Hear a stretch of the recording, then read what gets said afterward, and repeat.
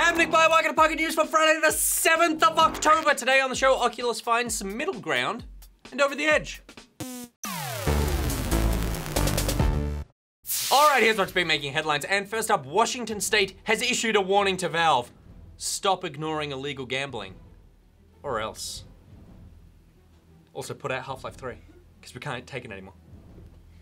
Just can't cope. Honestly though, I would prefer a new Left 4 Dead. Maybe Dota 3. The issues of Counter-Strike skin gambling have been well documented across the last few months, with Valve themselves threatening legal action against some of the bigger sites which offer the service. Tackling those websites was a step in the right direction, but it also stank of blame shifting. And it seemed apparent that Valve didn't really want to lift a finger to fix the problem. Can't our lawyers just make it go away? That was my Gabe. Just imagine wearing thongs though. Well, the Washington State Gambling Commission seized my Gabe and is unimpressed, but not as unimpressed as it is with Valve. The activity of the operating third-party websites breaches the state's gambling laws, and while all of the dealings happen off-site, in the end, the transfers happen through the Steam client.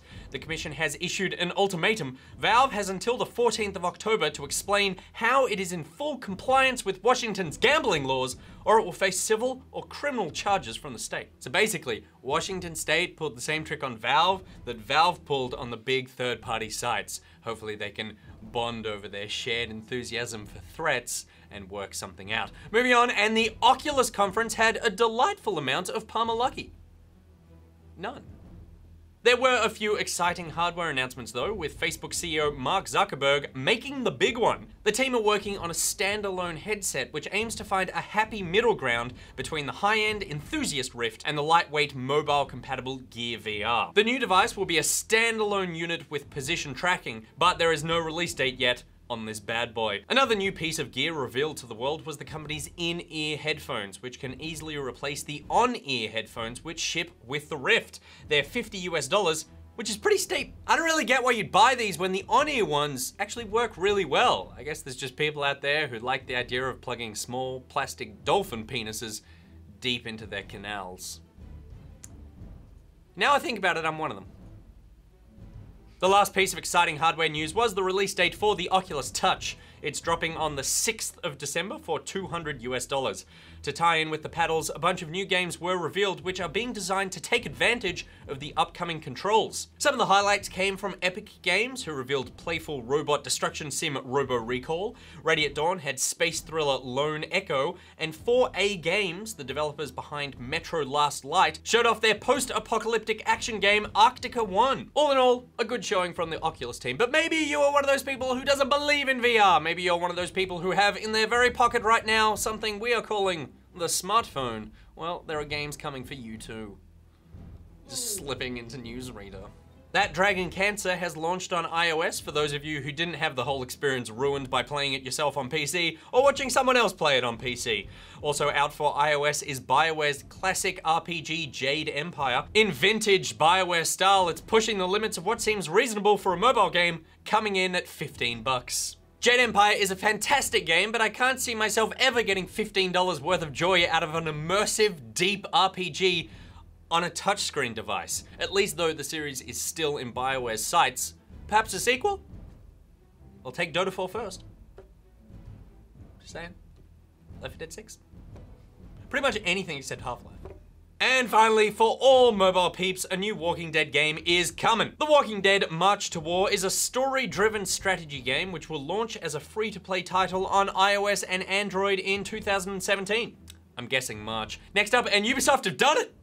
They've officially confirmed Beyond Good and Evil 2 is in the works and that Michel Ancel is at the helm. Ancel himself teased this week that his team are in pre-production on their new project, which thankfully is what we were anticipating. Now all we have to do is wait and pray that it doesn't suck and that Ubisoft don't get bought out. But this will suck because the Gears of War film is back in development. This time it has been picked up by Universal Studios. The idea for a Gears film first surfaced back in 2007 when New Line Cinema attempted to get it off the ground. But they couldn't because it sucked, so that bodes well. Here's something that doesn't suck, it's the thing of the day.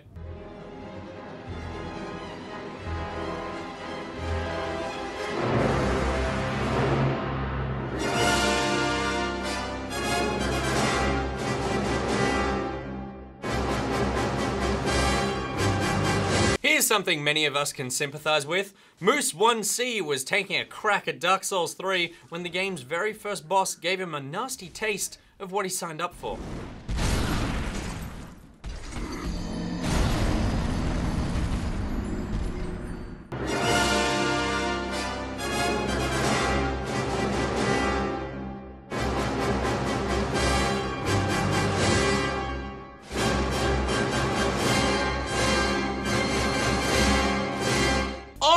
For Pocket News today, my Pocketeers. This afternoon, I answer your asks in Ask Pocket on our YouTube channel and also on our YouTube channel last night.